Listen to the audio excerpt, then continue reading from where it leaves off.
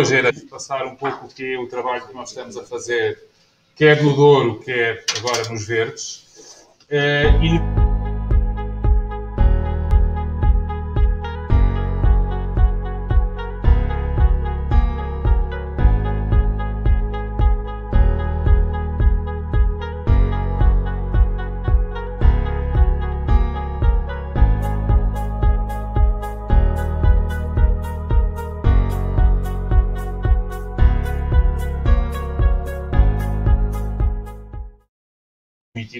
nós tentamos fazer na adega ou tentamos fazer na, na, muitas vezes nas quintas e que muitas vezes é difícil conseguir nós chegarmos ao consumidor e explicar aquilo que nós fazemos.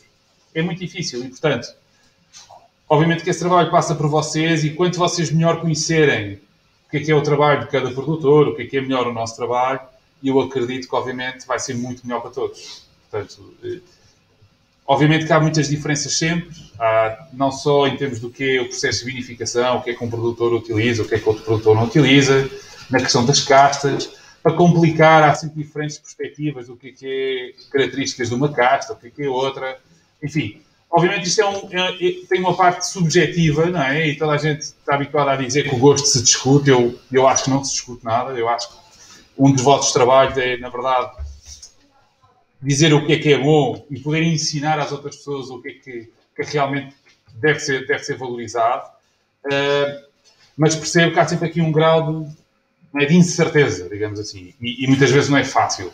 Mas bem, tentando explicar um pouco o, aquilo que nós fazemos, eu, eu, acredito, e principalmente quando estamos a falar de vinhos de origens, que é um pouco aquilo que nós tentamos fazer uh, em Murças e no Amial, perceber o que é a origem é, é, importante, é muito importante. O que é que eu quero dizer com isto? Vocês saberem e conhecerem o que é que, quais são as características da região dos vinhos verdes, quais são as características da região do Douro, porque isso à partida tem que estar presente no vinho de uma forma ou de outra.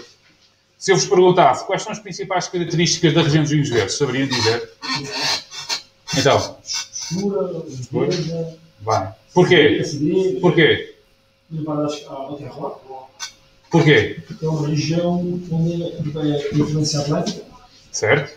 Uh, tem uma probabilidade enorme. Muito maior, pelo menos, sim, sim é verdade. Uh, muito térmica, no verão faz muito calor. Sendo que isso está, tem a ver com a continentalidade, ou seja, quanto mais próximos do mar estivermos, menor é essa diferença. Portanto, a região dos vinhos verdes, como estava a dizer, é verdade, tem uma influência atlântica muito forte mas há sub-regiões da região dos vinhos verdes, nomeadamente Baião, por exemplo, onde a influência atlântica praticamente já não se sente. Mas, mas a pluviosidade continua a ser maior do que nas outras regiões.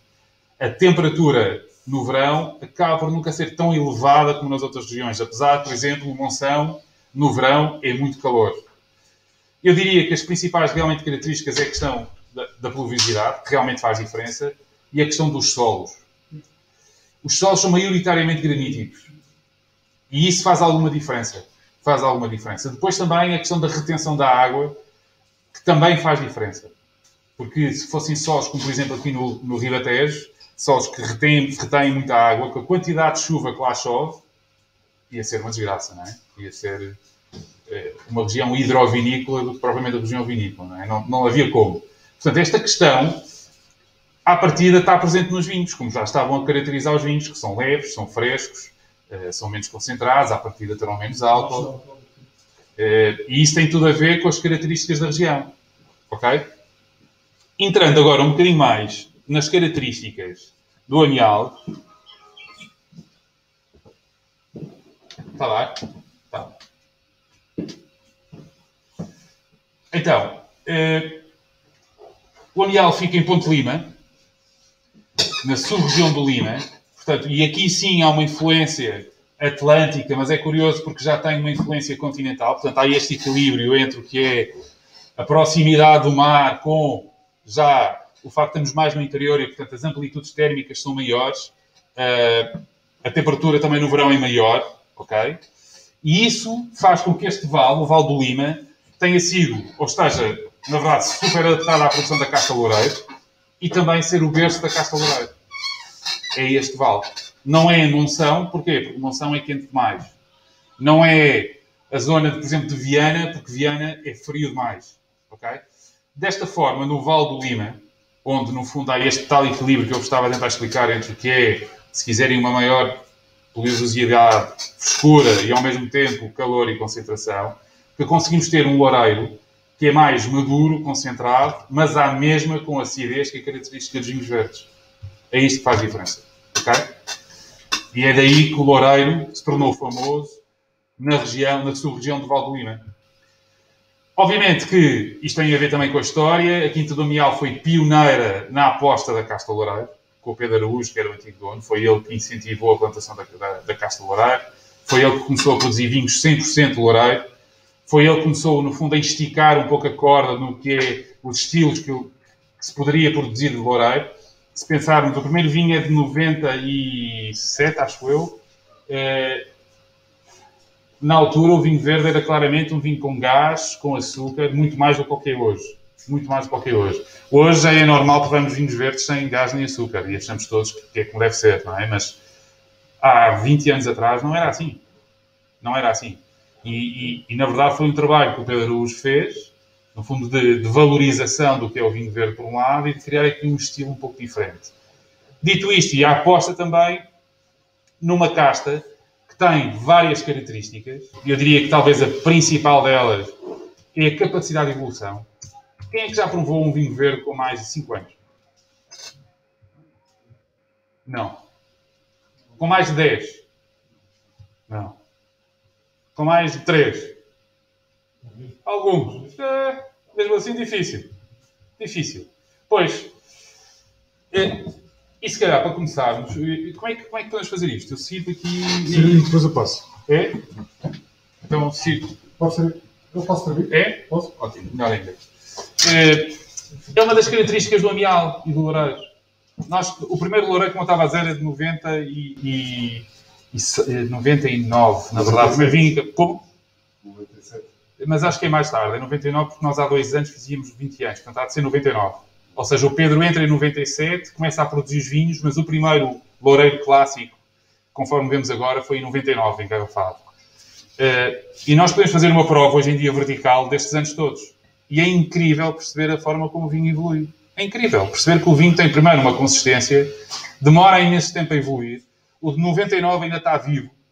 Ok? Uh, agora, claro que ninguém está à espera. Vocês, que já de certa forma estão ligados ao vinho, nunca provaram. Nem se calhar se lembrariam de provar ou de oferecer o vinho verde com mais de 5 anos. Porquê? Porque o consumidor, a última coisa que lhe passa pela cabeça é querer um vinho verde com mais de 5 anos. Aqui está, acho eu, um trabalho que claramente precisamos fazer.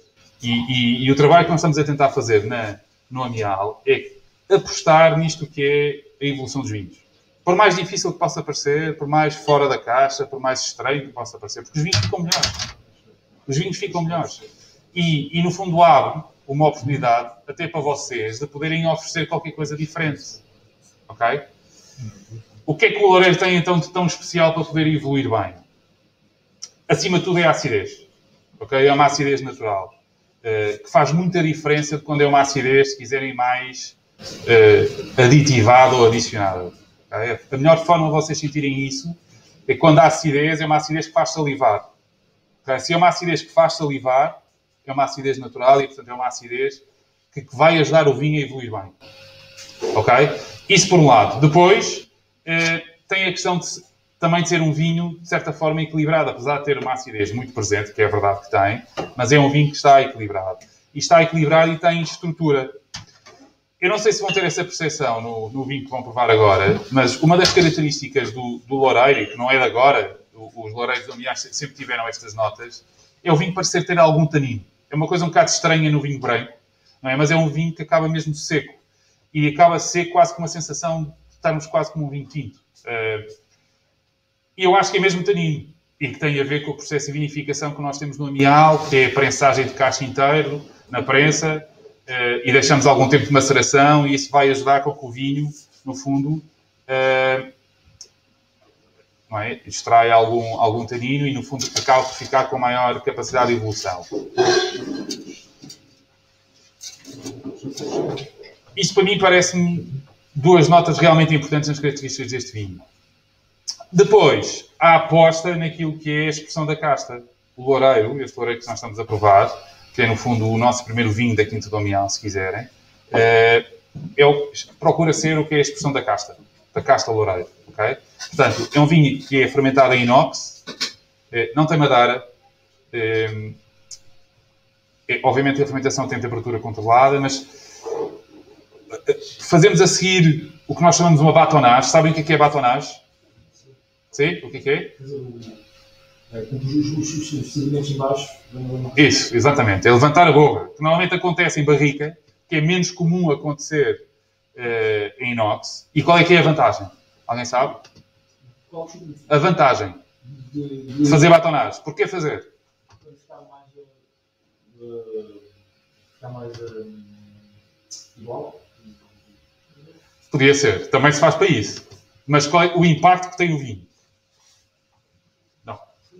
O impacto é, vai dar estrutura, vai dar volume. Ok? Vai como que dar uma certa untuosidade na boca. É, claro que também vai oxidar ligeiramente mais o vinho, ou seja, no nariz muitas vezes há pessoas mais sensíveis que notam, há pessoas que descrevem essas vezes até notas de levedura e não sei o que, que tem muitas vezes a ver com esta questão da batonagem. Uh, mas para mim, acima de tudo, é o envolvimento na boca. É a acidez, em vez de ficar desgarrada, se quiserem, é ficar envolvida. Ok? E isso, na região dos vinhos verdes, faz toda a diferença. Por contra, no Alentejo, por exemplo, onde há menos acidez, faz muito sentido falar em batonados. Ok? Sim. Como é que batonagem é dar-lhe uma golpada de, de azoto, ou dar comprimido, ou de oxigênio, se não houver eh, gás inerte na, na coisa. Sim por baixo, não é? E ela vai revolver tudo. Sim. Um, então, e essa é uma característica, é, é uma característica dos vinhos do Amial, que todos eles sempre tiveram eh, a batonagem muito presente, ok? Pronto. E então, já provaram? Sim, sim, sim. E o que dizem? Dizem alguma coisa? Típico de verde, aquele típico de acidez, muito presente. Eu não posso comparar muito com o muito vinho verde lá fora. O vinho verde nosso, uh, acho que é mesmo aqui em Portugal que se encontra vinho verde. Sim. Lá em França e Suíça, lá para os outros países, não. Encontra-se, só que é com gás e açúcar. Ah, não é o. Não... assim sem gás. Eu, eu pessoalmente eu, eu, gosto mais de branco de vinhos verdes do que dos brancos. Mas por acaso gosto mais desse mais, com, aquele com açúcar e gás. Eu, eu acho que. Como? Sim, é o que eu sou Pois, eu acho que é indiscutível. Nós podemos discutir se gostamos mais, se gostamos menos. Enfim, mas eu acho que é indiscutível que em termos de harmonizações com comida é muito mais fácil harmonizar um vinho assim do que propriamente um vinho com gás e açúcar. Parece a mim que é mais fácil. Uh, dito isto, eu também acho que é isto que é muito mais característico da região do que propriamente encher isto depois com açúcar e com gás. Por outro lado, também, é um vinho assim que vai permitir que o vinho evolua. Ok? E também, isto é um vinho branco, não se esqueçam. Não se esqueçam que é um vinho branco. E se me perguntarem, hoje não tenho a menor dúvida, qual é a região em Portugal capaz de produzir os melhores vinhos brancos, é a região dos vinhos verdes. Para mim, eu não tenho dúvidas. Claro, Bairrada, Dão, com certeza que sim, são regiões que têm ótimos. Todas as regiões em Portugal temos a sorte de ter grandes vinhos brancos. Mas aquela que tem as características naturais para produzir grandes brancos é a região dos vinhos verdes.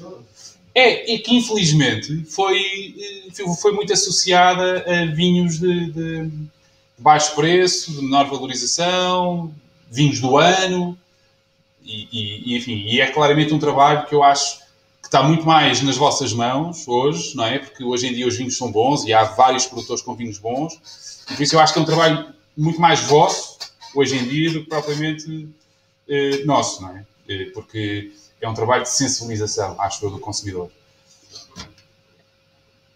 Bem, eh, abrimos o outro. Eu só o único, esse, esse aí. E depois está um daqui atrás, que é uma garrafa. Mas deixa ficar, não deixa? Agora. Sim, eu ia pedir este aqui. Yes. Já? Sim, sim, sim, vamos já. Mas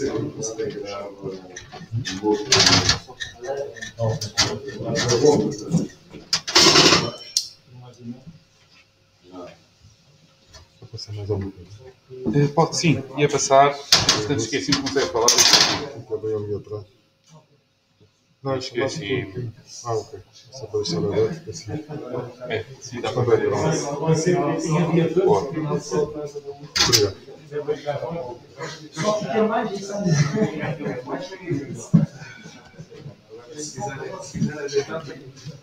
Posso pedir que depois, se for possível, para algum aluno depois abrir uma garrafa? ou já- Claro. Até, até podem abrir todas. Vem cá. Mas depois depois ter um aluno para abrir a garrafa. Claro. Ah, já. Vamos ver lá. Ricardo, dá aí uma dica ou coisa assim. Tal e qual. Esta.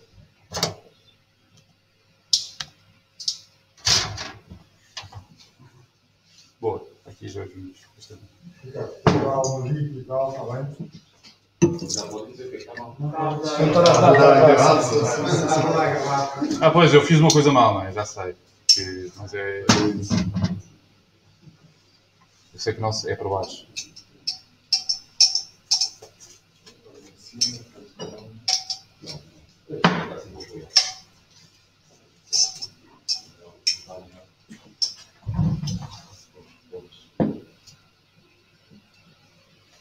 Não sei se qual é que é esse primeiro. Se Ah, este. Este é primeiro. Então, posso continuar? Posso pedir para servir? Ah, sim, sim, sim. Então, o solo único que vamos provar agora. Uma das características. Passaram. Uma, uma das características. Pode ser, não pode ser, fazer um só. Claro, pode ser, pode. Não sou deitar isso assim. Uma, uma das características do, Está cheio. do Loureiro é, é o facto de ser uma casta que dá para produzir vinhos muito diferentes. Eh, inicialmente, com o Pedro Araújo, no Nial, eh, ele chegou a produzir um espumante e chegou a produzir uma espécie de um late harvest, ok? Eh, e no portfólio base, que no fundo é o Loureiro clássico, agora o Sol que estão a provar, e o Escolha, são vinhos muito diferentes. São vinhos muito diferentes. No caso do solo único, é o vinho que vem de uma parcela, ok? Vem de uma parcela que está a uma cota mais elevada, portanto, eh, não sendo a diferença muito grande, eh, é suficiente para ter o solo ter uma textura mais grosseira. O que é que isso quer dizer? É um solo menos fértil, com mais pedra. E por isso, como devem imaginar, à partida, as uvas que nós aí produzimos são uvas mais concentradas, mais maduras, ok? Porque a produção também é menor. Força. Eu tenho uma pergunta. O, o feito da garrafa, neste caso do vinho, tem alguma diferença com a qualidade do vinho? Não. Não. A única diferença que tem é se a garrafa é branca ou se a garrafa eh, é verde. ok? Porque se a garrafa é branca, completamente branca, pode acontecer um defeito, hoje em dia já é raro, mas pode acontecer, que se chama gula lumière, que é uma oxidação pela luz. ok? Pela luz. Por isso é que se deve proteger as garrafas do- da luz. No caso da, da escolha destas garrafas pistola, há uma razão, que eu já vos vou explicar qual é que é. Já vos explico. Eh, Então, em relação ao solo único, estava eu a explicar que vem, tem origem nesta vinha particular, eh, e desde o início é um vinho que, que é menos intenso que o Loureiro, claramente em termos aromáticos, mas que tem uma, perso- uma personalidade para mim muito mais forte, ok? Tem umas características realmente muito mais diferentes daquilo que é, eh, eu diria até quase tradicional no, no vinho verde. Porquê? Claro que tem acidez e não engana, esta é uma acidez que está muito mais presente que no caso do Loureiro, mas é, é- é um vinho para mim com uma textura eh, realmente Parece mais isto. é isso que eu ia dizer. Riesling. Eu ia-vos perguntar se havia uma casta que vocês associassem a este vinho. Porque isto para mim é claramente, em prova cega, e eu acho que pode ser um Riesling. Por ser mais pô. Não, este, este para mim parece ser mais Não é? O outro era mais cremoso. O outro tem menos acidez. E por ter menos acidez pode dar uma sensação de maior... Pode dar. Mas a- como eles dizem a parece. Não? eu, eu acho que é pelo facto de ter menos acidez. Ok? E eu acho que é isso. Isso. Sim, este tem claramente mais acidez, mas tem mais grito, ok? Tem mais tensão, é um vinho com uma vibração, sim. Eu sou muito da área dos vinhos, que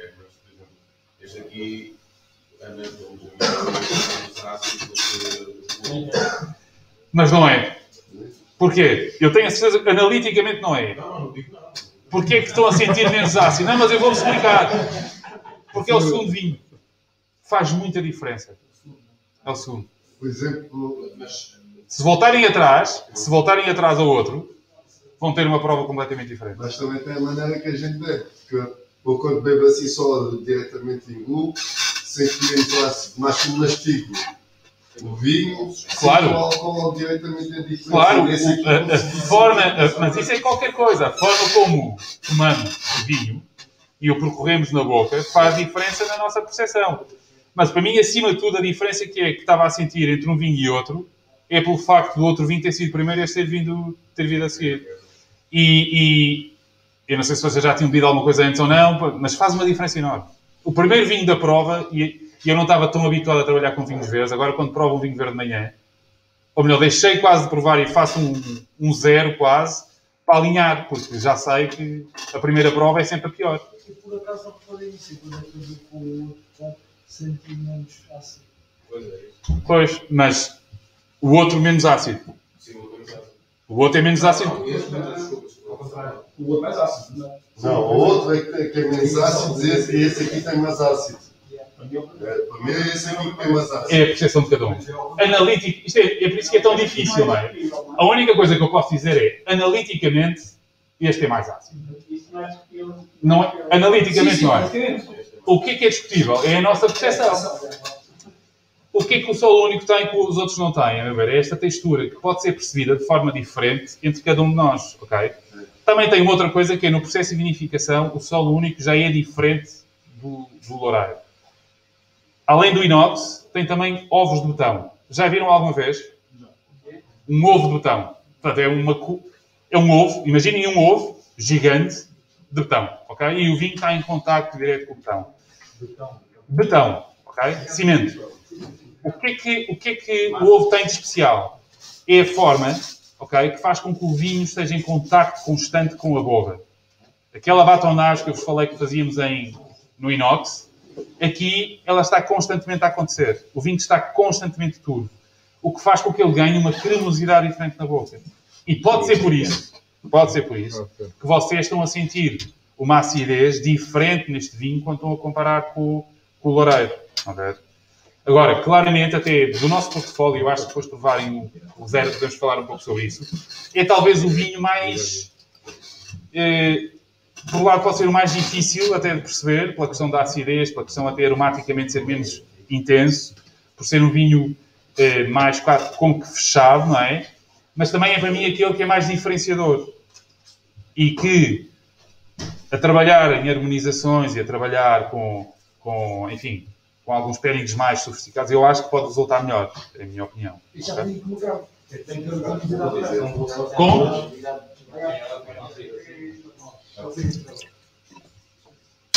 Sim. Eu ia fazer uma pergunta que está um bocado, quer dizer, está dentro, dentro da degustação, mas que já estou para fazer um bocado. é, Quem é que quer servir? Quando, quando há aquelas provas degustativas, que a prova são 19, certo? Sim. Pronto. Há, há alguns parâmetros, ele- há alguns requisitos para eles estarem lá, como por exemplo, não ter cáries, não fumar, porque isso, Não. tudo, porque isso tudo acho que interfere no, no, no nosso sabor, não é? Claro que interfere. O mais, eu acho que o mais importante, aquilo que mais interfere é a história de cada um. É o que mais interfere. A partir daí, claro que tudo interfere. Se tomou café, se não tomou café, se- tudo isso interfere. Mas, É que- o que eu acho que é importante quando, é- quando estamos nós a provar, é? e, e- e temos de ser honestos connosco próprios, é nós próprios que temos a nossa forma de provar e a nossa avaliação, porque a forma como eu provo vai- nunca irá ser igual a nunca vai ser. Sim. E eu posso estar a dizer que é banana e para si ser ananás. E, e se calhar quem está certo até é o ananás e não é muito banana, não interessa, mas aquilo que é importante é nós percebermos que quando alguém está a referir-se a banana, para mim é ananás. Então tem que me ajustar. Isso a mim acontece muitas vezes. E eu hoje em dia tenho a percepção que aquilo que eu estou a cheirar e a forma como estou a descrever é exatamente o diferente do que a outra pessoa está a mas estamos a sentir exatamente a mesma coisa. Temos é formas de nos explicarmos diferente. Eu vou explicar só o ponto que eu queria chegar, porque muitas vezes nós vemos no contravoto, né? Uh, cartas, né? E vemos às vezes certo vinho, eu penso que esteja o, se é acido, se não é, se é mais ácido, se não é. E o- onde eu queria chegar é quem é que é capaz de decidir isso para pôr no vinho se para outra pessoa pode não ser. É poesia. Pronto, é- poesia. Sinceramente, é poesia. Engarrafado. Como? Engarrafado. Engarrafada, vale o que vale. Vale o que vale. É, su- é sugestionar. Há pessoas que podem ler aquilo e dizer, claro, estou mesmo a sentir aqui os morangos, não sei de onde. e é. E há pessoas que dizem, mas isto é. Quer dizer, que disparate, não sinto nada a isto, para mim é outra coisa completamente diferente. Na verdade, é a percepção de quem escreveu a nota de prova, não é? Eh, não, não, não, não me parece. eh, E, e- e eu não sei bem qual é, qual é que é a vossa percepção disto, a parte até do serviço e tudo, mas eh, eu nunca liguei muito, sinceramente, à questão da descrição em si, ok? Ou seja, se é morango, se é framboesa, se é. Acho um bocado irrelevante. As pessoas gostam imenso de ouvir isso, mas eu acho sinceramente que é um pouco irrelevante. O que é relevante é, obviamente, eh, a questão dos equilíbrios do vinho, perceber se é um vinho claramente mais frutado ou, ou- ou- é mais especiado porque vem da barriga, ou se é mais concentrado, ou se é mais ligeiro. Isso para mim faz diferença. A partir daí já estamos a falar num campo que, eh, que é assim. Eu compreendo faz a definição que seja mais sugestiva, ou seja, depois ao provar, vou se calhar eh, inconscientemente, se calhar É, claro. ir lá por causa Claro. de quem serviu. Claro. sus- Isso é o que acontece mais vezes. É, está tudo a provar e de repente este vinho cheira a maracujá. Ah, vai cheirar a maracujá. Não, mas, mas é Parece um cheirozinho a floresta. Não quer dizer. Floresta, não- tipo de cheiro a floresta. E este vinho? Ah, sim, é. É madeira. Sim. Cheira a madeira. É isso. Ah, Pareceu-me aquele cheiro de floresta, não sei. Pois, floresta e madeira. Eu já fiz uma vinha Ah. e quando vim estar em Cuba ainda está naquela fermentação e os vinhos uns que chamam de maracujá. Pois é, pois é. Pois é, E diz maracujá pois é, pois é, pois é. Olha, por acaso já bebi vinho de maracujá em Cabo. Yeah. Não, não, não, vinho de maracujá, não estou a dizer pontos. O gajo fazia vinho de maracujá. É possível. Não é com pontos mesmo.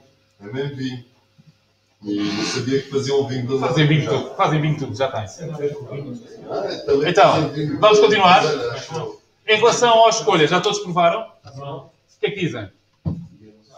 Menos ácido. Muito menos. Parece mais mal meti na boca para ser água. Madeira, exatamente. É mais evoluído, não sei se sentem isso, não é? Ou seja, tem, tem notas de madeira, claramente. É. É mais complexo. Tem estágio. Tem estágio em madeira, sim. Esses meses. tem um ano em barricas. Eh, enfim, eu acho que tem aquelas notas que nós tendemos a associar a um vinho reserva, não é? A questão da complexidade, é um vinho claramente mais sofisticado, mais evoluído.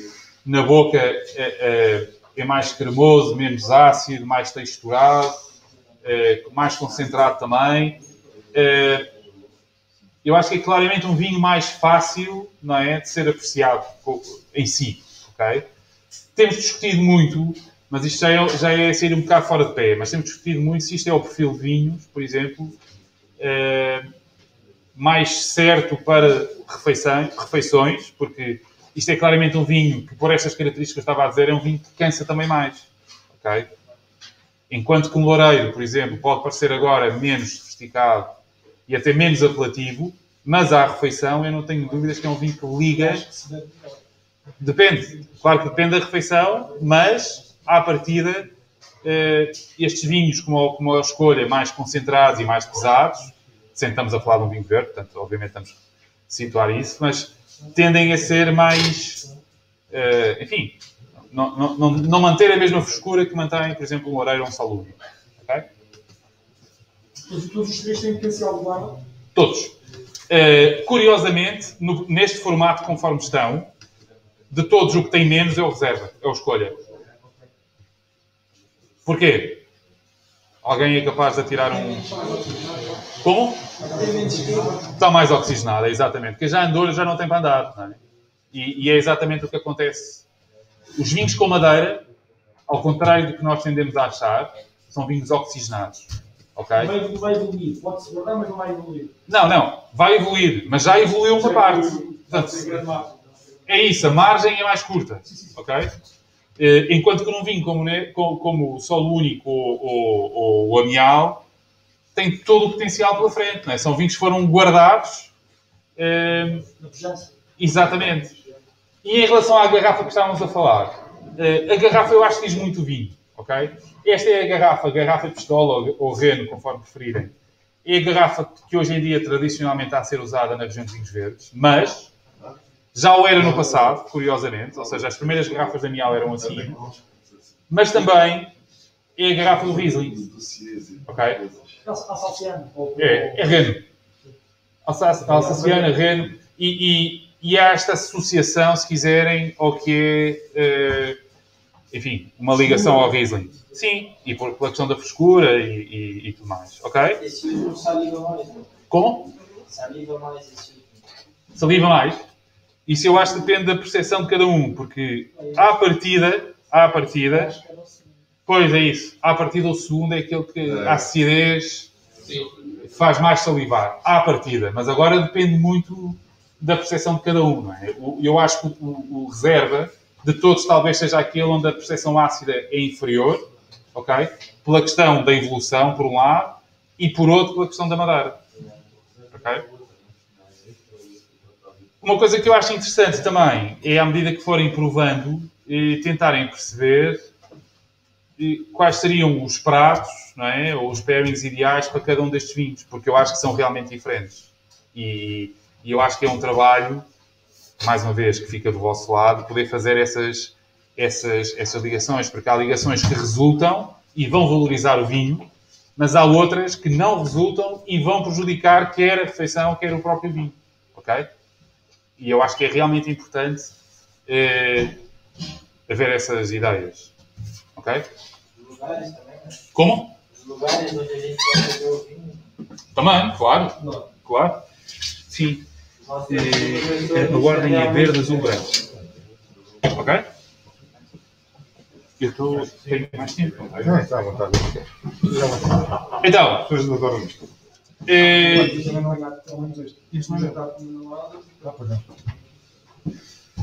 Faz diferença, claro que faz diferença. Eu acho que, eh, eu não sei, falando em, restaurantes mais sofisticados, não é? Há sempre uma tendência para querer coisas mais complexas, mais sofisticadas e tudo mais. E aquilo mais, mais, mais, mais, mais, mais. E muitas vezes um vinho, por exemplo, solo único, que tende a cortar um pouco essa, esse escalar, digamos assim, eh, resulta ou funciona. Além de ser vinhos muito mais versáteis. Com o que é que tem que ter cuidado com estes vinhos? Com coisas muito salgadas? Não resulta não resulta. Ou seja, presuntos ou esse tipo de coisas, esqueçam, não dá. Nem com ovos. Tudo que tenha ovos não vai funcionar. Ok? Com sushi. Liga bem. Mas eu acho que mesmo com sushi é preciso ter algum cuidado, porque são vinhos com muita acidez. Marisco é perfeito. O vinho verde é um vinho que se bebe bem só, só, só pelo próprio Sim, como aperitivo, mas eh, eu acho que pode resultar bem com peixe, pode resultar bem com, com refeições mais ligeiras, não é? E tradicionalmente posso fazer confusão isto, mas em Ponte Lima, óbvio, com feijões, claro, com cabrito, com tudo pratos que nunca nos passaria pela cabeça ligar com um vinho verde branco, e é o que liga, ok? Com pratos com mais gordura no fundo. O é- Então, também às vezes. O leitão, claro, claro, claro, claro, é. Ia funcionar. Ia funcionar. Como? Dizem, não é? É. Dizem. É Ponte Lima ou Viana, não é? É Ponte Lima mesmo. Ah, ah, ah. Então, vamos agora para a região do Douro. Então, em relação ao Douro, não sei se têm dúvidas em relação aos verdes. Obviamente há muito para dizer, não é? Isto é assim um bocado. eh, assim um bocado embutido, mas, mas eu acho que dá para ficarem com uma ideia das principais características da região em si, daquilo que se pode fazer ou não. Eh, falando do Douro, que é uma região é- é tão antiga como os verdes, a região dos verdes, dos vinhos verdes é muito antiga mesmo. E curiosamente, eh, o Douro tornou-se conhecido pela produção de vinho do Porto, não é? mas a, a produção de vinho do Porto começou na região dos vinhos verdes. Ok? Eh, e então, a região do Douro tem várias características realmente muito particulares e que a tornam talvez uma das regiões mais famosas do mundo, por um lado pela produção de vinho do Porto, por outro lado por ter sido a região demarcada mais antiga do mundo, ok? Eh, e porque tem características na- da própria origem que são realmente muito diferenciadoras. Alguém é capaz de dizer assim duas ou três coisas relativamente ao Douro que é eh, diferenciador? Que é caixa ou a dor? Pode ser esta? Vai ficar sujo. Aí eles já deram em papel, já tem Está bem? Então, Já tem papel. quer- alguém é capaz de dizer alguma coisa que seja assim mais característica ou única do Douro? O Douro foi delimitado em 1757. Certo. Isso é a demarcação da região, de acordo. Características da região em si. Ah, características. Então, são todas as é, as características. São, por- é protegida pelos, pelos, pelos né? Não, tem uma, não tem uma influência atlântica tão pronunciada. Não tem, porque aqui é um marão que bloqueia a influência atlântica, portanto é uma influência continental, de acordo. Tem. Tem, porque é continental. Ok. Ah, os os solos. ah, há- há- É o ponto mais importante, dos mais importantes. alguns- Tem Não. muito xisto. tem- Xisto. Xisto. Há aqui uns pontos de granito, mas o solo do Douro é xisto, ok? O Douro está assente num maciço de xisto. Ele é recortado aqui porque aqui é um afloramento granítico, ok? Há obviamente pontos aqui de, de granito, mas 90 e não sei quantos por cento da região é xisto. Ah. É xisto, ok? O que é que o xisto tem de características que faz com que torne especial? Absorve calor durante o dia e liberta durante a noite. Tem um corte, se quiserem, vertical, uma clivagem vertical, que aqui isso ajuda. Ajuda as raízes a entrarem e irem em profundidade. ok? Outra característica do Douro é que não há solo, é rocha. E o solo que existe é rocha partida. ok? Ou seja, são solos muito pobres que é o oposto daquilo que existe na região dos vinhos verdes. Em cima disso, em cima disso, eh, amplitudes térmicas, calor. Aqui, na verdade, é curioso porque eh, o Douro está subdividido em três sub-regiões, ok? O Baixo Corvo tem uma precipitação, ou seja, chove tanto como no Porto, mais ou menos. Estamos a falar em uma média de 1.200, 1.400 milímetros por ano, ok? Aqui estamos a falar em 800 e aqui estamos a falar em 400. Aqui é deserto. 40 graus, 200, milí- 200 a 400 milímetros. Portanto, é aqui a zona do Douro Superior. A zona do Cima Cor, que é a zona mais tradicional, por assim dizer, onde estão as quintas mais antigas, porque foi, na verdade, o vinho do Porto começou aqui, mas depois ficou mais presente aqui. Eh, são 800 milímetros, são 35 graus de- no verão, portanto são, são temperaturas mais agressivas, se quiserem, são condições mais agressivas e que estão muito mais ligadas à produção de vinhos concentrados. ok? Aquela descrição que fizeram do vinho verde ser leve, fresco, pouco álcool, é impossível fazer isso aqui, porque aqui é calor. ok? Sim, para si, no terroir do Douro, o que é mais realmente mais importante ou mais diferenciador é assim uma é isso É a. É isso, juntamente com o facto de ser viticultura de montanha. Ser uma zona de montanha. E o que faz com que seja uma zona... Obviamente, sendo uma zona de montanha, está aqui o rio, não é? Existem vales, existem microclimas, ou seja, existem... Cada uma encosta em frente à outra tem condições diferentes, as curvas todas que o rio tem faz com que se criem zonas muito particulares e isso realmente é que é a identidade do Douro. No Douro. É, mas é uma região sofrida, é uma região difícil, ok? Ah, e eu acho também que, como é que, de certa forma, isso está presente nos vinhos. É difícil, eu diria que não fazia sentido ter vinhos do Douro que fossem fáceis. Fáceis, tipo, leves, eh, ligeiros. ok? Não fazia sentido. Não fazia sentido, porque a região não é assim. A região é uma região difícil, sofrida, onde para plantar uma planta tem que demorar 5 anos ela a dar qualquer coisa. Se calhar daí também vem a identidade das pessoas. Claro, que são muito mais duras. Claro, claro, claro. Que é o oposto da região de vinhos verdes. Na região de vinhos verdes plantamos hoje, daqui a 3 dias está, já está com tamanho. Portanto, e, e isso, e sentirem isso, tem que fazer diferença nos próprios vinhos. Como? No Douro. São pobríssimos. É capaz de ser da região com os terrenos mais pobres. É bom para a produção de vinho tinto concentrado. Se for essa a intenção, sim, é bom. Ou para produzir vinho do Porto, não é? Sim. E no Douro Superior faz mais calor. Faz mais calor, é mais seco. Aqui, é mais concentrado exatamente, ainda mais concentrado. Ou seja, desculpem, eu vou tirar um bocado isto, senão não consigo. Eh, o, o Barca Velha, o famoso Barca Velha, vem daqui. ok? Começou no Mião e vinham buscar uvas aqui em cima à Meda. Eh, hoje em dia, quase todos os players do, do, do Douro têm quintas aqui. Primeiro, é mais fácil trabalhar porque é mais plano. Segundo, é mais fácil também porque, eh, sendo mais quente e havendo menos chuva, há menos pressão de doenças. ok? Portanto, é, é mais constante em termos de qualidade, se quiser. E os vinhos são mais concentrados que há 10 anos atrás ou 5 anos atrás era o que toda a gente queria. Agora, com as alterações climáticas e com as pessoas a quererem vinhos mais ligeiros e mais frescos, isto pode vir a ser um problema. E é curioso, porque o Esporão, quando decide comprar a Quinta dos Murças, há, portanto, em 2008, há, há 13 anos atrás, eu não estava a trabalhar no Esporão, e lembro-me que no Douro foi assim uma grande coisa. Foi, lá vem esta gente do Sul, agora vem cá para cima, descobriu, acham que descobriram uma grande quinta, ainda por cima aqui na, na fronteira entre Baixo Corpo e Cima Corpo, disparate, quando está toda a gente a comprar no Douro Superior, estão a comprar aqui. Claro que passado este tempo todo, não faria sentido outra coisa. Mas Agora é fácil dizer, eh, percebendo como é que isto tudo evoluiu, não é? com as alterações climáticas, com até o perfil de vinhos que hoje em dia é procurado.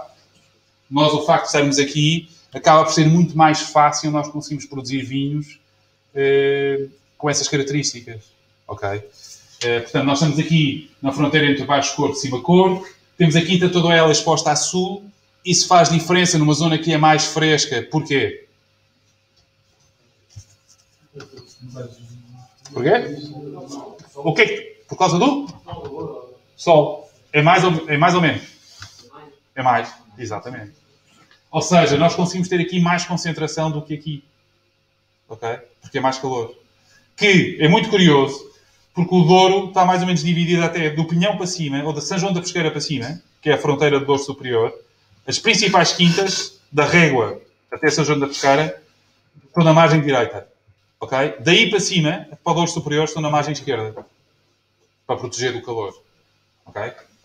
Então, são 150 hectares de terra, 50 hectares de vinha. O Douro Superior e o de- de- do rio para cima? Ou... Não, não, não. O que eu estou a dizer é que as principais quintas, de São João da Pesqueira, que é mais ou menos a fronteira do Sinacor Douro Superior para a Espanha, as principais quintas estão na margem esquerda, viradas a norte, protegidas do sol, do sul. E geralmente a, a mesma empresa, a mesma quinta, tem do- do- dos dois lados. Não, não, não, não. É é Norma, é muito raro. Eu não conheço nenhuma. Ou é de um lado ou é do outro. De um lado, ou de uma margem ou de outra, não é? Acho que muda completamente o. Claro, uma está exposta a norte e outra está exposta a sul. Isso. Nós costumamos brincar a dizer uma em frente à outra, só há uma que é boa. Não há duas quintas boas uma em frente à outra. São bom jogo para experimentar do- dois vinhos produzidos no lugar. e- É, nós temos, por acaso, nós em Murças temos esta parcela, estão aqui a ver, que é virada a norte. É a única que é virada a norte. Que é a parcela do Osso Bio. Que é mais ligeiro, menos álcool, menos concentrado.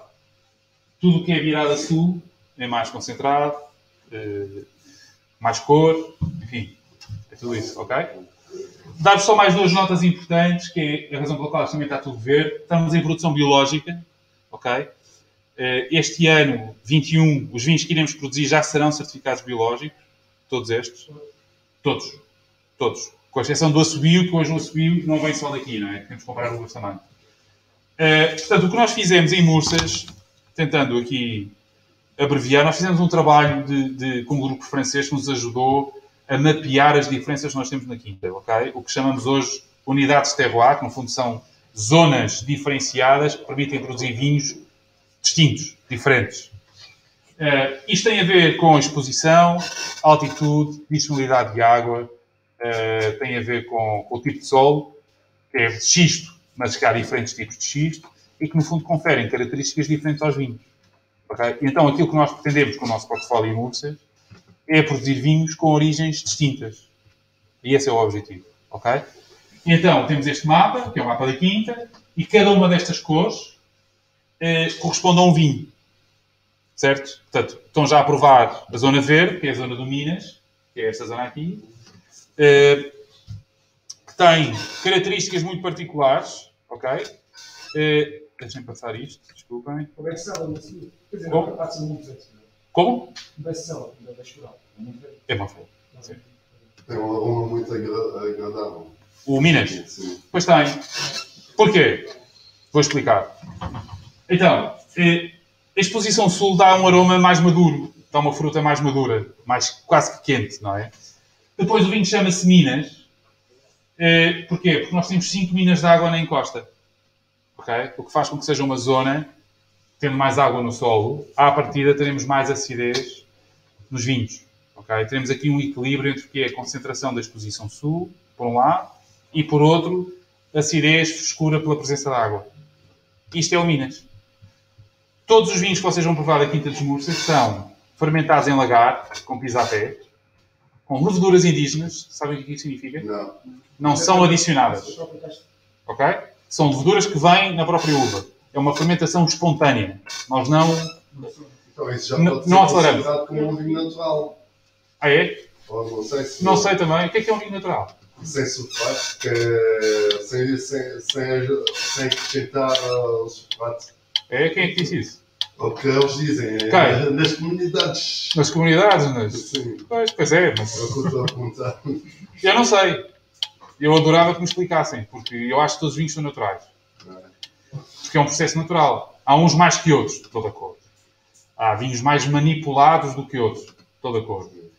Eh, acho que usarem o termo natural, que eu não sei o que é que exatamente significa, se é a questão dos sulfitos, se, é, se, se a barreira é os sulfitos, Não sei bio ou não. bio não, não é a barreira, quer dizer, não, não é o que faz um vinho ser natural, mais natural ou menos natural, não é? Eu acho que é, é um tema que eu sei que é muito quente, porque toda a gente está atrás disso, mas que eu, como técnico, não é, tenho uma visão muito objetiva da coisa, porque eh, tudo bem, se a questão é os sulfitos, estamos de acordo, é um vinho sem sulfitos, mas para não ter sulfitos, o vinho vai virar vinagre. É uma questão de tempo. Pode demorar um ano, pode demorar um mês, pode demorar dois dias ou pode demorar dois anos, mas vai virar vinagre porque é um processo natural. A não ser que tenha outra coisa qualquer. Ok? E pode ter qualquer coisa natural, toda cor. E nós até estamos a experimentar várias coisas. Mas os sulfitos, que é uma. É quase, parece quase o diabo que, que, que- chegou ao vinho, eh, está presente em todo lado. E ninguém discute os sulfitos do camarão, da fruta, da. sei lá, e mais alguma coisa, não é? É só uma palavra para o comércio, afinal, para fazer uh, tipo as pessoas sentirem-se, olha, faço outra coisa de diferente, ou É, é é moda. mais isso. Eu é acho mais- que é. é Há vinhos ótimos e eu tenho provado vinhos muito bons que se dizem naturais, mas tenho provado outros que são imbebíveis. Mas dizem que o vinho natural para de, de conter, de conter, de contar, uh, De cantar, sim. se demora mais que um vinho. É que cheira tão mal muitas vezes que é preciso mais Sim, tempo a sair exatamente. assim. Pode ser. Se deixarmos 10 anos, vinho é capaz até de ficar melhor. Isso afinal é só mesmo sobre. para perceber. É que é? É modas, eu acho que são modas. É- É. Mas nada contra. E a só se tem que adaptar às modas, se quiserem, se não quiserem. Com certeza que não quero. uh, coisa Com certeza é que não que tem. encontrar Se uma alguém diferença. há de adaptar, se alguém há de ganhar bem com isso. Claro, Já ganham dinheiro com isso. claro. É um negócio como outro qualquer. Como eu gosto. A a Escoral também estava impressionada no mercado.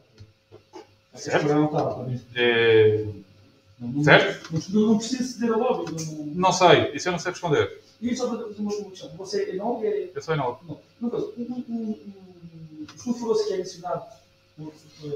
na- nas ruas é extraído de onde? É- É químico. É químico. É químico, é um produto químico. É um produto químico. E há várias, há várias fórmulas de sulfuroso, ok? Há, há em gás, há pó, há metabisulfito, há, há várias. Hoje em dia podes escolher quase todo o tipo de sulfuroso, sendo que é um produto químico, ok? Vem do, vem do, do enxofre, portanto é enxofre. O, o elemento químico é o enxofre. e há- é um preparado enxofre. Mais ou menos puro, mas é enxofre. E o enxofre é um antioxidante, antissético, eh, antioxidante e antisséptico. Sendo que ainda é solvente. Portanto, ainda tem aqui o outro efeito que pode ser distração. Mas, enfim. Então, voltando aqui. Estava eu a dizer, portanto, leveduras indígenas, que são leveduras que vêm na própria uva, não aceleramos o processo. A verdade é que usamos menos sulfuroso. A verdade é que não fazemos qualquer outra correção ao vinho. O vinho depois é estagiado, no caso do Minas, em cubas de betão natural, ok? Durante oito meses. Uma parte em barrica e outra parte em cubas de betão. Porquê? Porquê betão? Alguém sabe? Fresco. Menos atração. Escuro, óbvio. Temperatura, o que é que isso quer dizer? Inércia, Não iné- vão- não vão- inércia térmica, exatamente. E também Essa é uma não- razão. Não, dá, passou a dar, a- enquanto fizemos uma linha de trabalho, vamos usar aquela, aquele complemento na madeira. Então, Certo. Já, já, já é mais a caixa em si, mais neutro. Não oxida também. Oxida ou não oxida?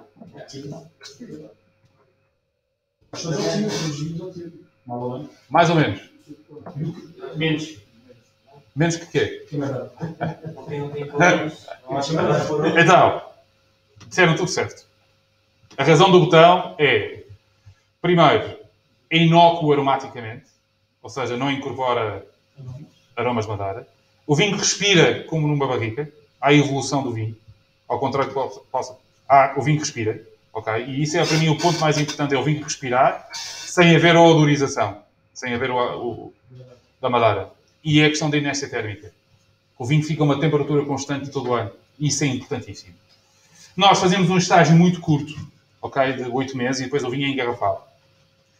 Há aqui um ponto de discussão eh, que tem a ver com a idade do vinho. Se eu vos passar para a mão, vamos supor, mil euros para comprarem uma garrafa, e eu acho que toda a gente vai comprar uma garrafa de um vinho mais velho e com madeira. Óbvio, não é? Porquê que é óbvio? Porque é melhor? O vinho mais velho e com madeira é melhor? Não, não. Estou a perguntar. De quem? Estou, a perguntar. Tem mil euros uma garrafeira. Tem um vinho de 2018, vamos supor, e outro 2015, um com madeira e sem madeira, com mil euros. Ambos custam mil euros. Obviamente é o vinho de 2015 com madeira. Dura mais tempo, tem mais. Estão-me a perguntar ou, estão a dizer? Uma questão, uma- uma questão ao mesmo tempo. Olha aí. Porque toda a gente vai escolher aquele ah, em madeira. Eu acho é. Com? O potencial está nulo. Ah, Pois, o, o- mais que o potencial para mim é o que é a origem. Ok? O que é a origem está no outro. Mas o que é lixado é que nós não estamos à procura da origem. O que nós realmente valorizamos, e que principalmente quando estamos a pagar mais, é o que toda a gente está à procura. A idade, porque alguém nos meteu na cabeça que idade é sinónimo de melhor e mais caro, e a madeira. Eu gosto pessoalmente de madeira. Mas também depende da ocasião. Pronto, mas de uma forma geral não há ninguém, ainda não tive ninguém que me dissesse ah não, eu pagava mil euros com um vinho do ano, sem madeira. Não. Porque fomos todos ensinados desta forma e fomos a- aprendemos a valorizar, se quiserem, estas características no vinho. E aquilo que nós procuramos com o Minas é um pouco disruptivo, digamos assim, mas é na verdade o oposto. É dar a oportunidade às pessoas provarem um vinho novo, sem madeira, de qualidade, diria eu, premium, não é? Estamos a falar de um vinho que é mais caro.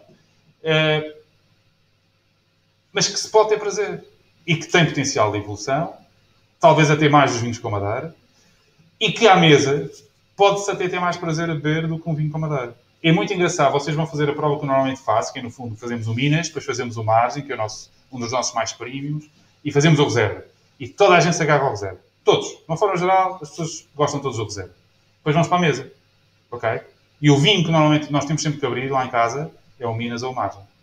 Nunca é o Reserva. Aquilo que as pessoas acham que gostam não é aquilo que as pessoas querem. Perceberam o que eu disse ou não? E isto é uma coisa muito sensível no, quando vocês estarem, estiverem a trabalhar. É isso isso está a dizer, não comida ou não. Não, não, não, não. O que eu estou a dizer é aquilo que as pessoas acham que gostam não é aquilo que elas querem. É é. Pois não? Não. É influenciado, por, como vocês todos aqui estão a dizer, por aquilo que, que nós nos ensinaram, na verdade, que é valorizar idade e madeira, mas chegamos à, se chegamos à mesa e tivemos um vinho com idade e madeira e outro mais novo, tipo o Minas com bife à frente, eh, tenho a certeza que vai tudo agarrar-se ao Minas e não vai agarrar-se ao outro. E não bebem o primeiro copo porque era caro, o segundo. Mas ao terceiro já não, já não vão. Não casa bem. Ao terceiro já não vão. É? Eh, mas, mas eu acho que isto, enfim, é, é- é obviamente uma discussão muito mais alargada, mas que eu acho que é importante passar-vos essa nota, de pelo menos que é a minha percepção, de que este, realmente os estilos de vinhos estão a mudar um bocado e está-se a voltar muito mais até às origens. E antigamente os vinhos eram muito mais assim, menos álcool, eh, a fruta muito mais evidente, mais novos, ok? Não tem que ser. Como? Usava-se muito o botão, exatamente, exatamente. Está-se a voltar a vinhos, com menos álcool, mas tivemos aqui o Ricardo Moraes que eh, nos disse que os vinhos até estão cada vez eh, a ter mais alcoólico e. Será um Será ser Cada vez mais. Eu, eu, acho que eh, ainda há um consumidor, de forma geral, valoriza o álcool, valoriza, é indiscutível, coisa mais qualidade. de acordo, de acordo, mas está errado. Sim, mas Pronto, está é errado. Está errado. Depende de vocês quererem mudar isso ou não. Eu estou a fazer o meu trabalho. Leve. Eles procuram aquilo. À partida, eles vão procurar aquilo que lhe disseram que é bom. Que é álcool, barrica e velho. O resto, Depende, se for um senhor, se for se calhar uma- um, jantar de umas meninas, se calhar vamos dar um vinho de barriga, vamos um vinho mais leve, mais, com mais fruta, com só fogo. pois, Só, eh, só mesmo ali na, na, na caixa em cima. Ah, bom, geral. A ni- a nível pessoal, como é que vocês preferem mais frutada ou mais, mais forte a nível geral? eu, hoje em dia, custa-me imenso beber vinhos com muito teor alcoólico. Um. Dois. eh, eu cada vez valorizo mais a origem e provar a origem. E a barrica é maquilhagem. Agora, dito isto, há dias em que chego cansado a casa e o que me apetece é um vinho com madeira, tipo um reserva, que é um vinho que relaxa. Não, não, não nos faz pensar, é aquilo que se bebe e entra na nossa cabeça direitinho. É? Um vinho como este, ou como o Minas, é um vinho mais cafeinado, ok? Que nos desperta mais, que nos é mais interpelativo. E isso nem todos os dias apetece. É Claro, claro, claro, claro, claro. Máximo público possível. O público, público, para- eu, acho que posso. É, eu acho esta questão da madeira é um tema. eh, não sei, eu, eu acho que é muito curioso. E aí, eu- mais uma vez, o trabalho que, vou- que vocês podem vir a fazer, não é? De, de surpreender. Porque a tentação é, é dar aquilo que o consumidor vai aceitar de caras, não é? De ser, é mais fácil. Dá-me- É mais fácil, é, é mais óbvio. Como? É menos arriscado, não é? Não se estão a pôr a jeito para nada. Mas as melhores experiências que eu tive até hoje foi quando saí fora de pé.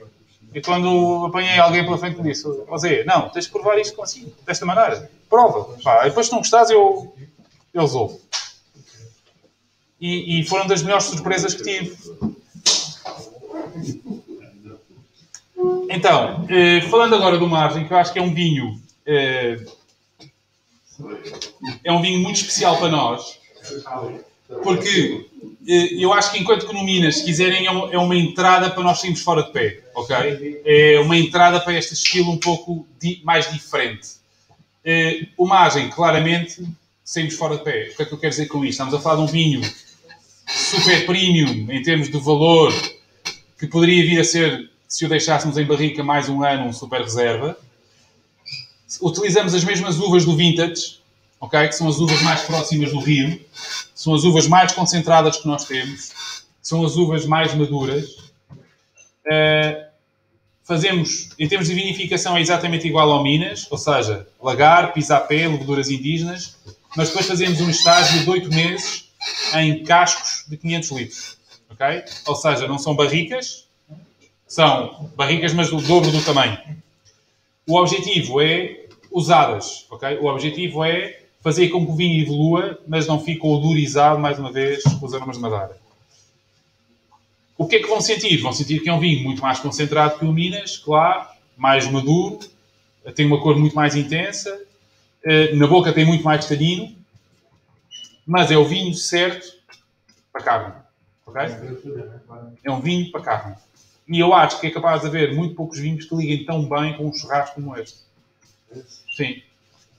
É um vinho de carne, é um vinho que pede proteína. Agora, claro, temos que, temos que imaginar aqui a carne e o vinho e tal, é um exercício que pode não ser tão fácil. Eh,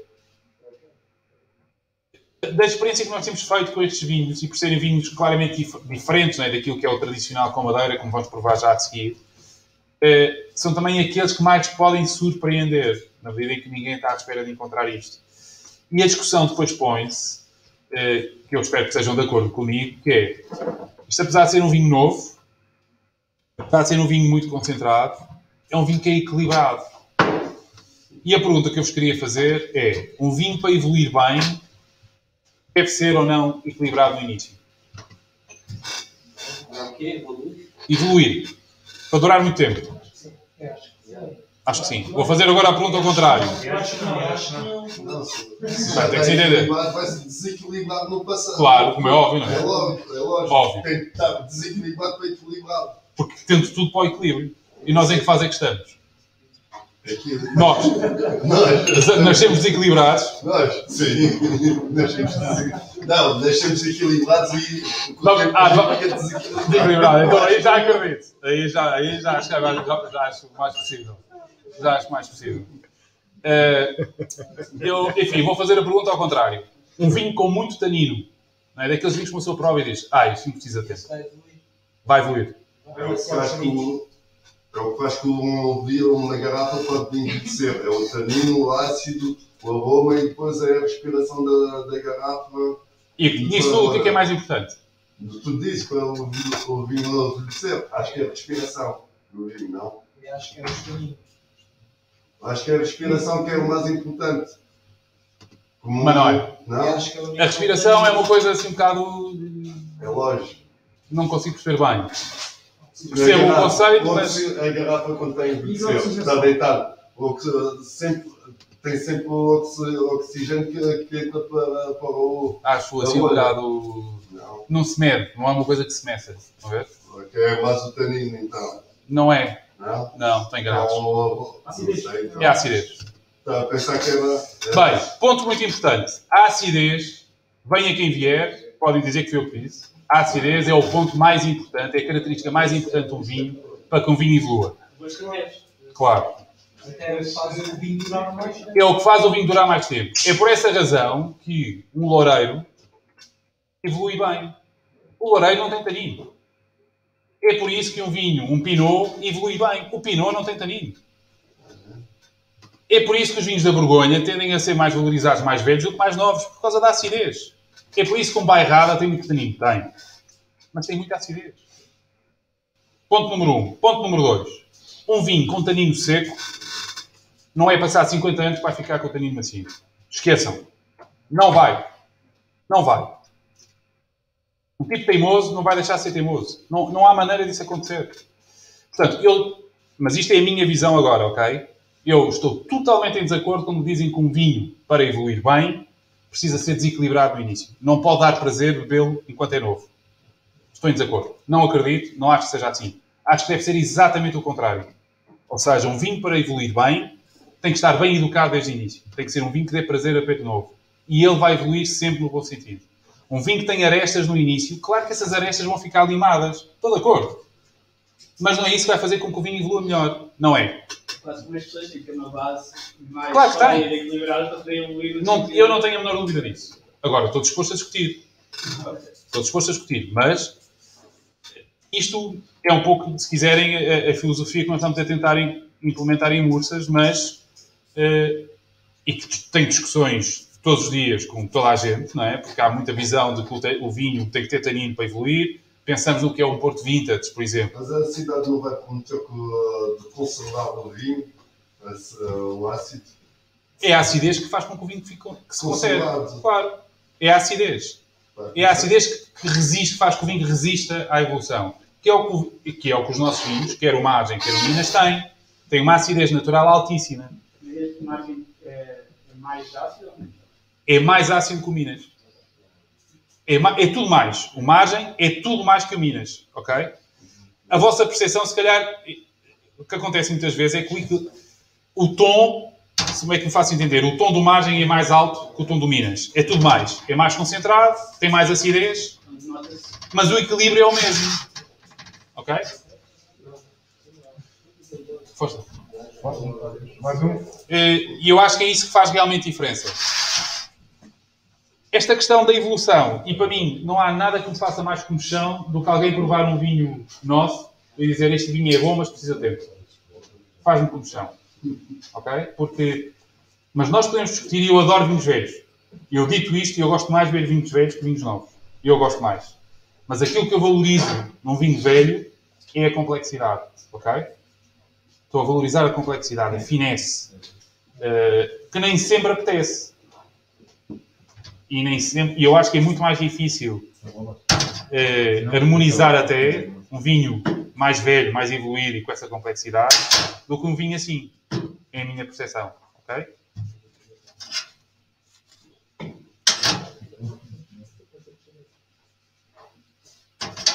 Qual que você disse que era, era um, um gênero de? Não é nenhum destes. Não.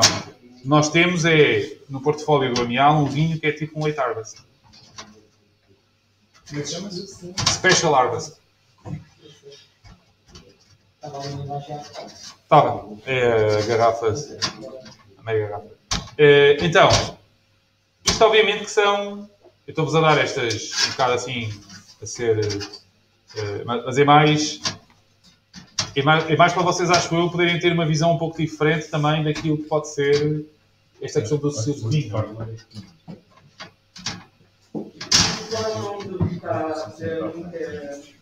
que está a? Ah, o, o vinho é o assobio. O assobio é o nosso vinho, se quiserem, de entrada de gama de, de Mursas. Eh, e a característica do assobio é vir de encostas norte e ou nascente, ok? Sempre de maior altitude. O que é que isso faz? Faz com que o vinho tenha menos concentração, mais acidez, é mais aromático, menos álcool, à partida menos álcool, eh, e mais leve. É? Eu acho que a questão da leveza é uma coisa que nós nos habituamos, de certa forma, a valorizar a questão dos vinhos mais pesados, mas eu acho que não tem que ser. O recente. É recente. É, tem 10 anos.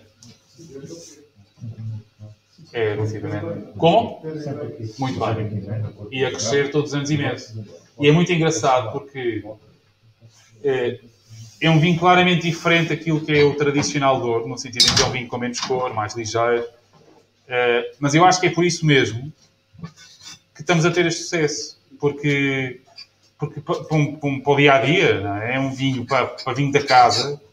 É, é, o, é o vinho de antigamente.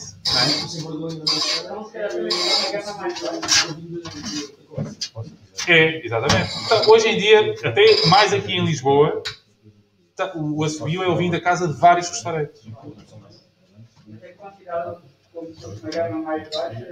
É. É, é, é. Ou seja, se quiserem dividem a gama de mursas, temos o assobio, que é com uvas de, com- de compra dos nossos fornecedores.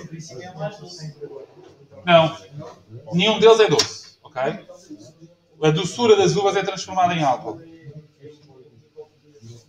Ok? Só uvas mais gamas. Ah, então, estava a dizer que o assobio vem de uvas compradas e a gama Quinta dos Mursas, eh, no fundo que é Minas, Reserva, Margem e VV, eh, é com uvas 100% da Quinta, daquele mapa com estas origens. Não dão vazão, é não tem espírito aqui. É o comprar nas uvas do Douro. É, não, não, claro, são uvas do Douro, mas são, são uvas, eh, no fundo, de vinhas com cotas mais elevadas, como eu estava a explicar, eh, viradas a norte e nas boas nascentes.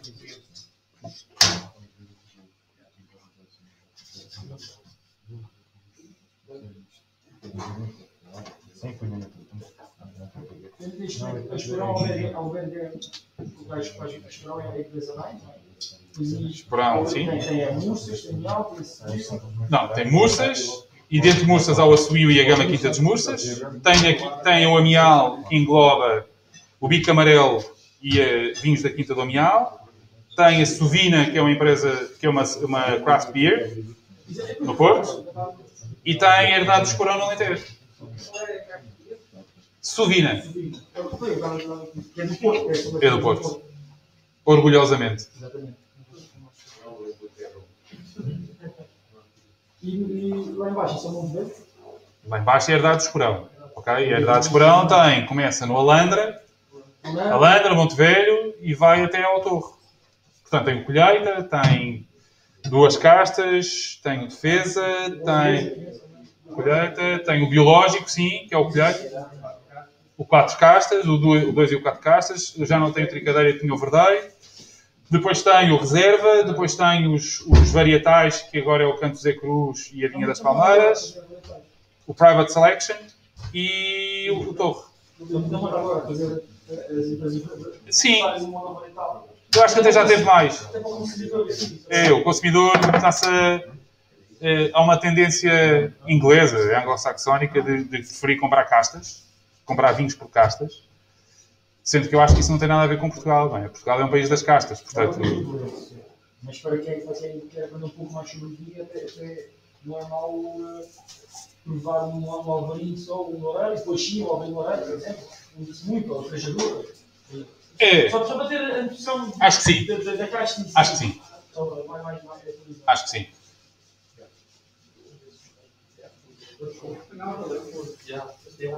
Esse aqui já é muito mais fraco que os outros. É mais evoluído. É mais velho. É mais velho. Então, deixa lá ver. 17, 17 e o reserva há de ser o 15. Este claramente, este, este estágio não é o último. Tem um ano. Igual. É mais? Não. O último tem, tem 6, 8 meses. Não, eh, aqui são barricas e não são cascos, ok? Portanto, são, têm metade da capacidade e são menos velhas que no margem. No margem são mesmo velhas. Aqui são menos velhas. Nós, à medida. eh, no- eh, estas são de segundo ano, sim. Ou seja, nós, ao contrário também do que acontece, nós, à medida que subimos na gama, se assim quiserem, as barricas vão ficando mais usadas. Normalmente é ao contrário, não é? Nós preferimos, nos nossos vinhos mais premium, usar barricas me- mais usadas. Pronto, vai dar aquele toquezinho, mas não tão. Para- Exatamente. Não se aqui tanto. Sim, Aqui é francês? Aqui é francês. 100% francesa. Nada francês. Obrigado. Carvalho francesa. Só usamos francês. Inicialmente ainda tínhamos algumas barricas americanas, mas hoje em dia só usamos francês. É, tá, é Uh, para cheirar só e dizer o que é que. Porque para mim está a mostrar com esta relação que estamos a. Ou vai ser o mesmo, É normal. vinho tinto. É isso. O cheiro ainda é mais difícil. As, dif- as diferenças é mais fácil provar, porque nós podemos ter feito isso. Eh, e quando tiverem uma prova, tentem fazer isso, que é, é uma prova comparativa, ou seja, ter o outro copo ao lado e um e outro, irem cheirando. Aí as diferenças são óbvias. A sério. Claro. O primeiro, o primeiro deu um Fora. assim. Eh, O aroma madeira. E este aqui já achou, estou a ver, chama de É um aroma metálico, digamos assim, na minha. qual? Este último? Este, este e o segundo. O primeiro já era. O primeiro é o último. É porque a pessoa- Cheira diferente ou não? Não? Consigo cheirar, tem uma diferença comparado aos outros, mas não consigo descrever qual é esse cheiro. Não há diferença, não sei explicar a diferença. Ah, isso é outra coisa. Mas, por exemplo, um se calhar é mais leve. Esse aqui parece que tem mais álcool. aqui- Não, este aqui parece mais leve. É, né? O Este último parece ter mais que álcool. Sim. Agora, o Já porquê vi. e o que é que isso quer dizer? Pois, aí, aí eu acho que a grande dificuldade, a grande dificuldade é essa, não é? É, nós percebemos a diferença, nós até conseguimos, e eu, eu, obviamente que é contrário, ou seja, va- vamos conseguindo eh, ser mais objetivos numa análise ao vinho. Eh, o difícil é nós pormos em palavras aquilo que estamos a sentir. Isso é o mais difícil. É o exprimir. é mais E, e muitas vezes baralhamos. Ou quase sempre nos baralhamos. Porque aquilo que nós estamos a dizer não é aquilo que estamos a sentir. Não, eu que eh, no caso não por exemplo, eh, um mais e assim. Eles têm um manteigado, não sei porquê. Não, mas há, há de haver uma justificação para isso. Exatamente. Há uma justificação. Eu que. Isso aí é a melhor maneira. E é difícil fazermos assim, mas é. é, existem caixas. Eu não sei se vocês tiveram essa oportunidade de fazer aqui aquele jogo do Nedovan. Sabem o que é? Nedovan. Nunca ouviram falar disso? Vinho. É isso. É umas caixas que existem de aromas elementares em que sentem, por exemplo, a manteiga. Está lá, cheiram a manteiga. E aquilo é a manteiga. Aquele aroma é a manteiga. Não, estou a dizer, na, na- naquele, naquela caixinha é manteiga. E fazendo passar esse frasco por todos vocês, um vai dizer que é manteiga, um vai dizer que é chocolate, outro vai dizer que é não sei o quê, e, ninguém- e vão ver que todos dizem coisas diferentes. Mas objetivamente aquilo é manteiga. E vocês têm que meter na vossa cabeça. Ah, Aqui tem 54 Há vários. diferentes. Há vários, há várias caixas. Por acaso é uma ferramenta muito engraçada. Há o Nedovan é, é, pronto, é o mais sofisticado, se quiserem, mas até para, para criança eu tenho para os meus filhos uma caixinha que é um loto dos aromas. Há várias. É, hoje em dia é. É. Há, há várias. Hoje em dia há várias. E isso ajuda. Mas, por exemplo, nós, eh, pá, a maior parte de leigos neste- nesta parte da situação, no caso, acreditar no que. Claro. O Maior.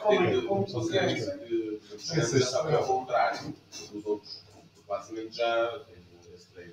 Mas é treino. É como tudo, temos que aprender, não é? Temos que treinar, temos que. Eu acho que isto nos vinhos, a, vantagem, nos vinhos, como, como nos, quer dizer, na parte do bar e tudo, acho eu, não é? é a, é, a partir é uma coisa boa. E, portanto, a única coisa que nos temos que obrigar é sermos objetivos. Quando, quando tivermos a provar, temos que ser muito objetivos. E seguir sempre a mesma ordem. Isso é o, o principal conselho que eu vos queria deixar. Ou seja, criarem uma metodologia vossa, que não tem que ser a minha, não tem que ser mais ninguém, mas a vossa, que vocês sempre tiverem com um copo, vão fazer isso. Porque é a maneira de começarem a ter alguma objetividade. E a partir daí vão começar a perceber as diferenças. Vai ser a primeira fase. Vai ser, ah, este vinho é diferente deste. Claro, a ordem é começar a ver a cor, depois da cor é sem agitar nariz, agitar um bocadinho, voltar a meter o nariz, boca, fazer passar o vinho pela língua toda, é muito importante, pouco vinho, e deve ser sempre a mesma quantidade, tem que se habituar a pôr sempre a mesma quantidade de vinho na boca, isto é uma coisa que vai, vai demorar algum tempo até ter- conseguirem fazer isso, mas façam um esforço de fazer isso, fazê-lo passar na língua e depois cuspir ou, ou, ou, ou beber e deixar ficar um bocado assim, a expirar, né? Para, para- perceberem o que é que fica, o que nós chamamos da persistência e o aroma retronasal. E objetivamente é isto, estão a ver? Só um segundo. E, e fazer isto de forma sistemática, com qualquer bebida, vai-vos dar, no fundo, experiência, traquejo, como queiram dizer, depois serem mais rápidos e começarem a ver as diferenças, depois de começarem a sentir as diferenças, qual vai ser o próximo passo? Vai ser quererem identificar. Eu já vi aí há bocado uma roda dos aromas, já não sei onde é que eu vi, e começar a brincar com a roda dos aromas, a ver, primeiro vão tentar fazer às famílias, depois já vão às subfamílias e depois, se calhar, eventualmente até vão conseguir chegar ao aroma. Mas eu acho que isso já é poesia, como eu estava a dizer, se conseguirem descrever, isto é um aroma de fruta, é um aroma de madeira, é um aroma de vegetal, de floral, já é um passo que já não sei se é preciso dar mais que esse, estão a ver? Eh, Mas para isso, obriga a ter, primeiro, serem muito objetivos, serem muito honestos. Eu acho que isso, na prova, o mais fácil é nós embarcarmos nas ideias dos outros. Ou seja, está toda a gente aqui a provar e isto para mim cheira a rolha. E eu digo, isto não tem rolha. Ah, não, isto está ótimo. Ah, se calhar está ótimo. Não está. Não está. Se alguém diz que tem rolha, essa pessoa tem razão. Não tenho dúvidas. Não tenho dúvidas. Se alguém diz que tem rolha, de certeza absoluta que o vinho tem rolha. E há pessoas mais ou menos sensíveis, estão a ver? E, e- Mas isto é treino. É treino e serem honestos convosco. Não é. Ah, cheira a amarelo. Ah, a mas para vocês era outra coisa qualquer. Não, sejam. Tipo, é com molhado de vez em quando. É preferível não dizerem nada. É preferível estarem calados, apontarem e guardarem para vocês. Do que apontarem coisas que vocês não estão a sentir, porque assim. E depois, obviamente, que é começarem a a ganhar a vossa linguagem. Ok? Isso ajuda a ter pessoas que, que provem bem convosco, porque vai-vos dar essa linguagem, vai ser um processo mais rápido, mas é uma coisa que podem fazer. Podem fazer. Com, com o Nedovan, por exemplo, hoje em dia há imensas ferramentas, há imensos livros de provas bons que, que, que dão dicas de, de como fazer. Não é? Mas É isso, diz que a outra pessoa é que um e é a sua opinião é que não é um e. e, eh, isso é uma ótima questão.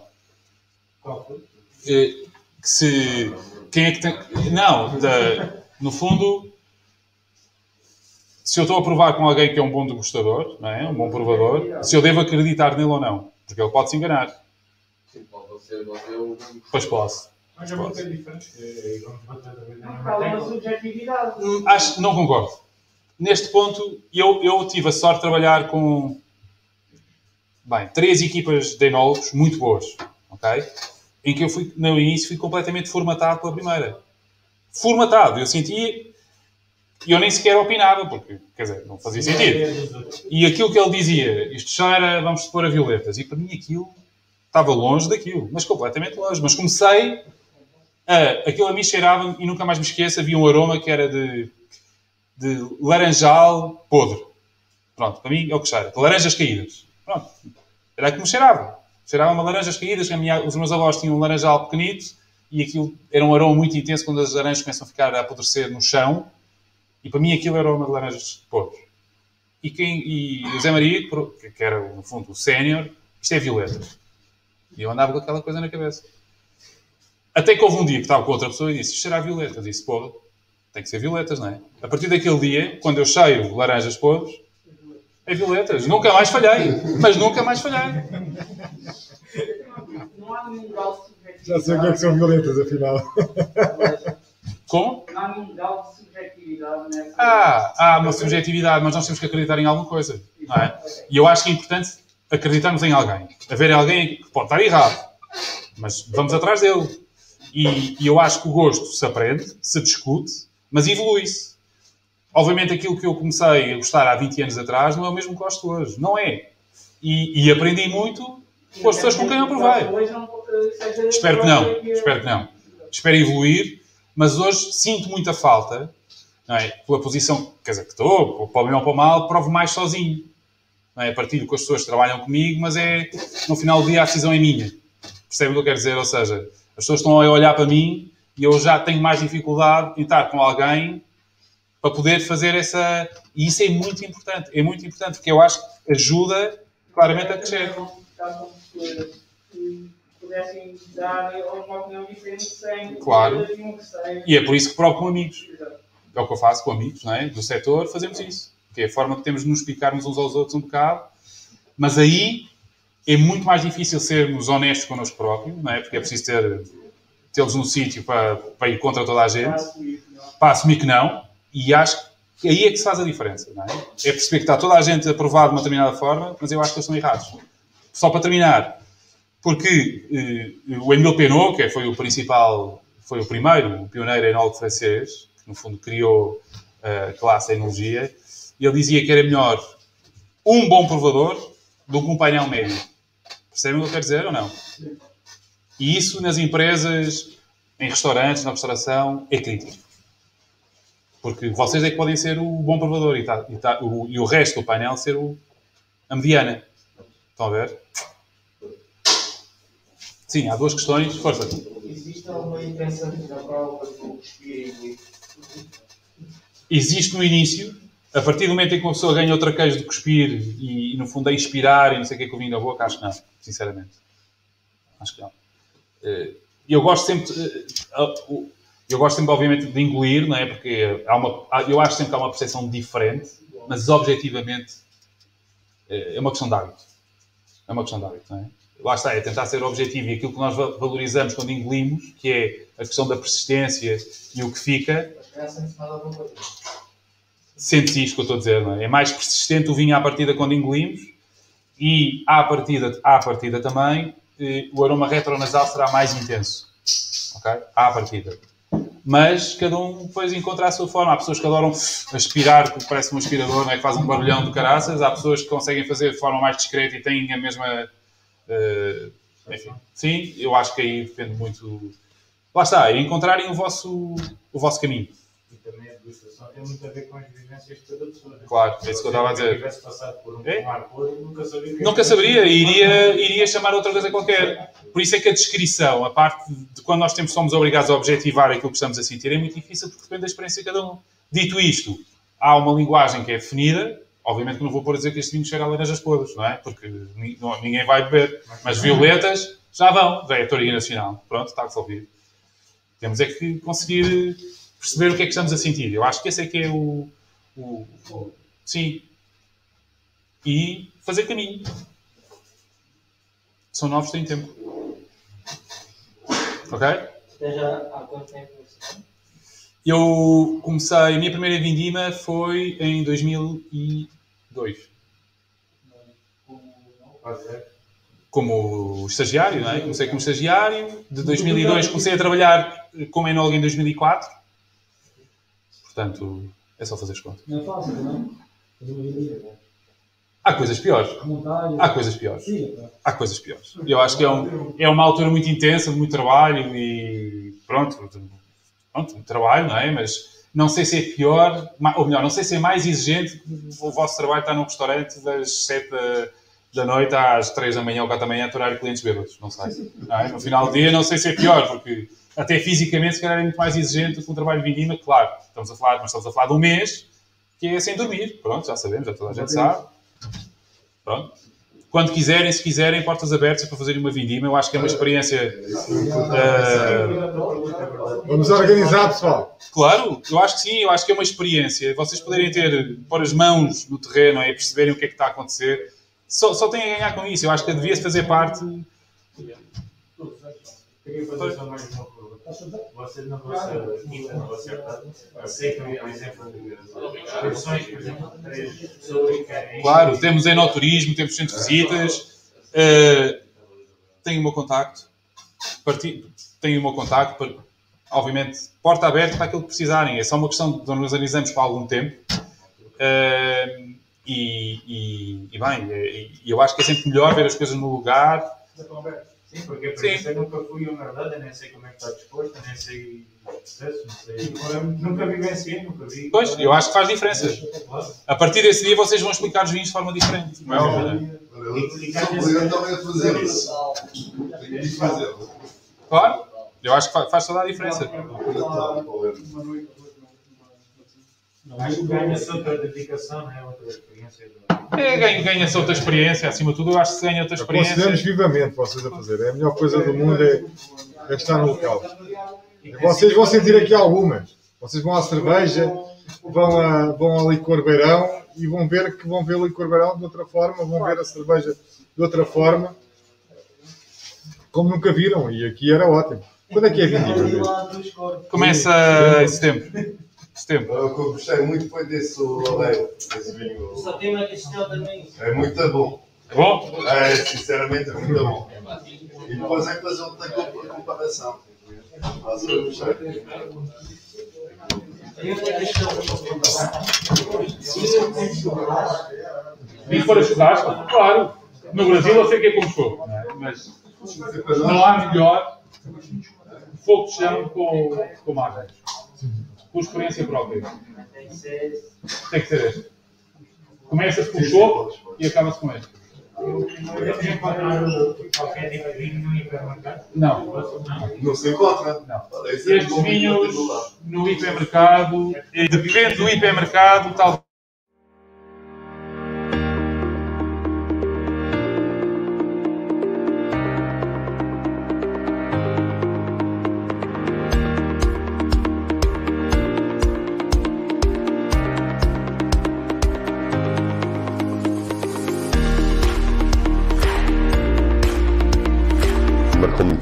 Os formadores, os colegas, a forma de trabalhar. A quantidade de informação que conseguiram passar praticamente num mês, ou menos de um mês. Para quem ama e gosta de bar, dá para chegar a todos os pontos, desde de um destilado a um fermentado, conseguimos absorver uma quantidade enorme de conteúdo.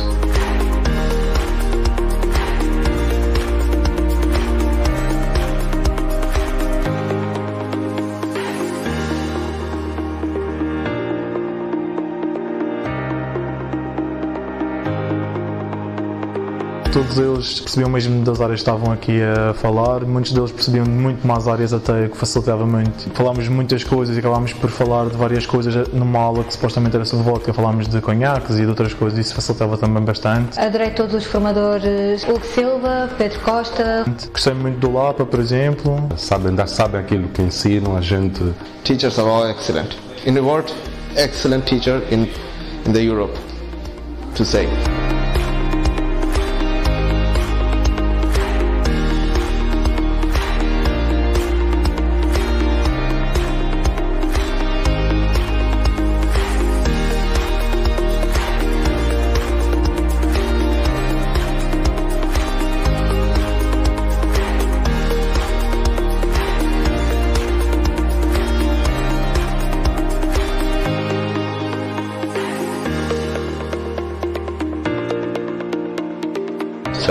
Bastante, tanto através das redes sociais, como através de boca a boca, para amigos e de amigos para outros amigos, e recomendo a 100%. Recomendaria. E já recomendei a muitos colegas meus também que têm uma paixão pela área. A toda a gente que quer ingressar nesta área de bar e que não, tem, e que não tenha conhecimentos, é, acho que este curso é uma mais-valia.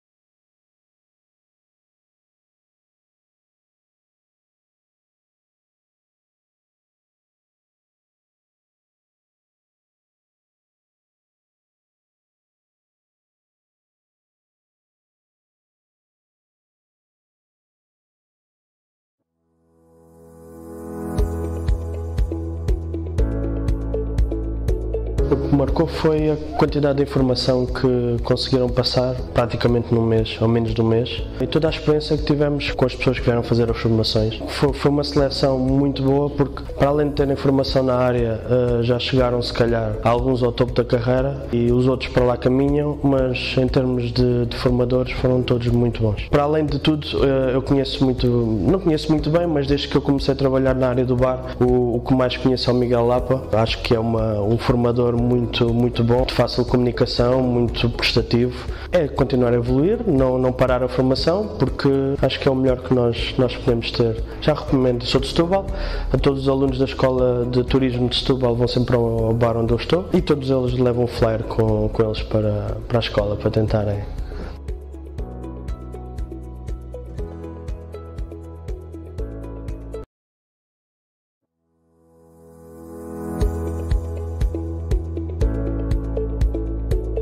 quem ama e gosta de bar, dá para chegar a todos os pontos, desde de um destilado a um fermentado, conseguimos absorver uma quantidade enorme de conteúdo. Todos os formadores foram bons, todos têm maneiras de ensinar diferentes, outras conseguem injetar a informação mais rápido na nossa cabeça, mas são todos ótimos. Tivemos uma relação muito boa com, com todos os formadores. As minhas expectativas é terminar o 12 ano e depois inserir-me logo, logo na área de bar. Recomendaria. E já recomendei a muitos colegas meus também que têm uma paixão pela área. É um curso espetacular para toda a gente que gosta da área. Aconselho sem dúvida.